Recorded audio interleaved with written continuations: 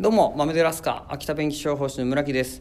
今週だば、まだ冬さ逆戻りスタインた天気になって、あど雪だばうだでって感じになってらったすべ。だども、そんた天気もまんず終わり目できた。今夜からの雪っ子の予想。まんだ内陸中心に雪降るったって、そんた積雪多くなるほどでねんた感じ。朝晩もさっとこ雪寄せせばいいくれてねべかな。でよ、日中だば雪っ子やんで天気回復するえんた予想なってら。あい、いがったこと。時間ごとの気温見てみると秋田市だば日中5度ぐらいまで上がる予想まずそんな寒いくねえかもしんねえな。はいこいだばあと春さ向かってくんだべかと思って週間予報見てみたっけ。土日だば10度ぐらいまで上がるえんた予想だもんな。10度ってばあと3月下旬並みの気温だ。雪解け進んで雪崩とか屋根からの落雪だば注意さねばねえんた天気になるびょん。だどもよく見たっけ？このまま春さ向かうんでねえのな。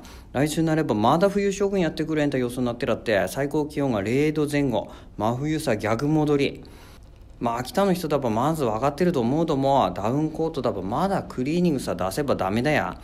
体調崩さねえようにして絵でぬくだまって過ごしてけれっす。せばねー。